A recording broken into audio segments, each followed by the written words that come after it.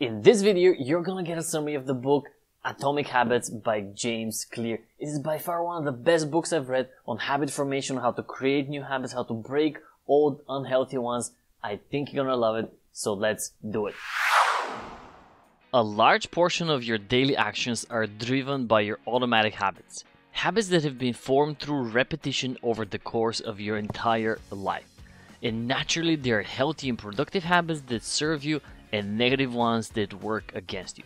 In either case, you are what you repeatedly do, so you owe it to yourself to deepen your understanding of habits, how they work, how they're formed and broken, and how you can use them to create the best version of yourself. This is what Atomic Habits is all about, showing you how small adjustments can lead to a massive transformation in your life. If you make tiny 1% improvements to something on a daily basis in the course of just one year, you end up being 37 times better. Now that's huge. Imagine 37 times better health, or 37 times better finances, or relationships. Even a fraction of that will significantly transform your life, so let's dig into it. But before we get to how successfully form new habits, let's talk about your understanding of what success means.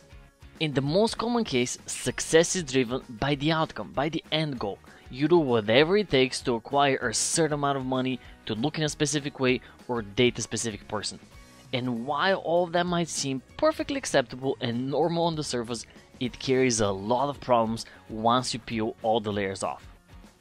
The main problem with goal driven behavior is that it tends to ignore the process of getting there and just concentrates on getting the final outcome by concentrating on winning a marathon, for example, instead of the systems and the habits of becoming a better runner, you inevitably put yourself at a disadvantage. After all, both winners and losers have the same exact goals. Everyone wants to win the marathon. Those who come out on top, though, are the ones who have been concentrating on the continuous improvements of their running habits, not just winning that single marathon. Concentrate on improving your financial habits instead of buying the dream car and you most likely end up buying it much sooner. Same way, concentrate on improving your dietary habits instead of obsessing about the six pack, and you get those chiseled abs much faster. As the author puts it, you do not rise to the level of your goals, you fall to the level of your systems. So let's talk about how habits are actually formed. There are generally four stages the cue, the craving, the response, and the reward. It goes like this you work on a problem for school or a presentation for work and you inevitably get bored. The feeling of boredom is your cue. You feel the need to entertain yourself, which is your craving. The response is you pull out your phone and check out social media or your email. The reward is that little tiny bit of distraction and entertainment you instantly receive. Checking your social media becomes associated with feeling of boredom and frustration. You repeat this enough times and you find yourself distracting yourself with your phone every time you find boredom. Sounds familiar? Now, let's learn about how to use the habit loop to your advantage to form some healthy habits. The four laws of behavior change are make it obvious, make it attractive, make it easy, and make it satisfying. You start by making the cue obvious. If part of your New Year resolution was to go every day to the gym, but you never set a reminder on your phone or you never put it on your daily calendar, you most likely forget going more often than not. If you make that cue, that first step, super obvious, you stand a much higher chance of ending up at the gym. And the easiest way of making that cue obvious is a strategy called habit stacking. Attaching a new habit to an already existing one you already have the habit of coming back from work and school, so stack exercise on top of that. Getting into the car or stepping onto the bus platform becomes your cue to head to the gym. You want to get into the habit of flossing? Stack it up on your hopefully already established habit of brushing your teeth. Putting down the toothbrush becomes your obvious cue to reach for the floss and get cracking. The next step is making the craving attractive. If the craving is not attractive enough, you have no motivation to engage in the wanted behavior. If going to the gym feels like a punishment, why bother? An effective tactic to use in this stage is something called temptation bundling. You can only watch your favorite Netflix show while you're at the gym, or you can only drink your favorite flavor of vitamin water only after you've completed the workout. By making it, I only get to enjoy X while or after I'm doing my desired activity, you make it exponentially easier on yourself to get things going much faster. So make that craving attractive.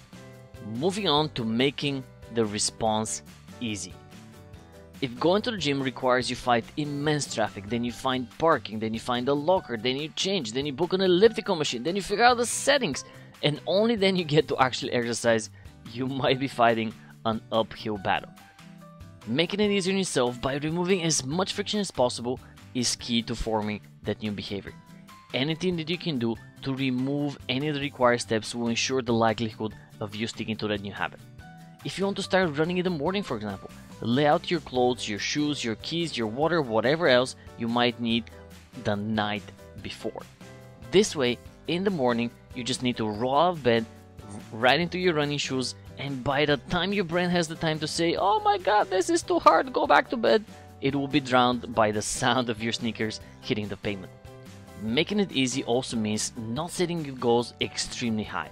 Instead of setting the expectation to run 20 minutes, set it up for 2 minutes. Instead of flossing all your teeth, set the expectation to floss only one. It sounds silly, but chances are you'll do way more than that once you're engaged in the behavior. But overcoming that initial obstacles is usually the hardest, so set the goals low enough to actually set yourself up for success. And finally, make the reward satisfying. The easiest way to do this is to use reinforcements. Keep track of your successfully completed habits in a chart, in a calendar, your favorite habit tracker, it does not matter. When you visually see your accomplishment, you'll be motivated to continue acting in the same manner. Seeing your progress reinforces your identity of being someone who's healthy or someone who makes good financial decisions. An identity is the cherry on top of your behavior changing cake of awesomeness. It is that final and deepest layer of habit formation. If you believe you're a healthy person, your habits, processes, and outcomes will absolutely follow. Your goal is not to run 60 miles, but become a runner. It is not to read 100 pages of a book, but become a reader. The goal is not to quit cigarettes, but not to be a smoker. These might seem like little subtle differences, but they will completely alter the way you think and how and which habits you form. And now you know how to form new healthy and sustainable habits. Make the cue obvious, make the craving rewarding, make the response easy, make the reward attractive, and you'll be on your way in no time. Now, let's talk about how you can put all this knowledge to use for yourself. Hey, welcome back. So that was James Clear and Atomic Habits. As you can see, a phenomenal book with a lot of information. Now, how do you get to use it for yourself? Well, the easiest and most practical way for me is for you to figure out your current habits. Basically, to keep a habit scorecard. Because if you're not aware of your habits, whether they're the productive ones or unproductive ones, there is no way to change them. And the thing about habits, they're automatic. That's the whole point. It's automatic, it's subconscious. So you need to bring your awareness all the way out so you can figure out what the habits are before you can change them, eliminate them, improve on them, whatever the case is in your situation. So, habit scorecard. As you go through your day, whether it's at work or in your personal life, I want you to keep track of two things. One, the cues, and two, the rewards.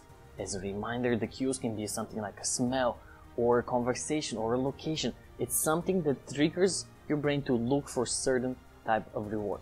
Maybe every single time you open the fridge, you look for a cookie or for something unhealthy. Or every single time you get bored, you pull out your phone. Boredom is the cue, pulling out your phone is the reward. Figure out what the cues are, figure out what the rewards are, and then review your scorecard. You're gonna see a lot of unhealthy habits, you're gonna see a lot of healthy habits. And once you see all of this, armed with this information, you can make decisions. You can make decisions to improve your life based on the framework of atomic habits. But it all starts with awareness.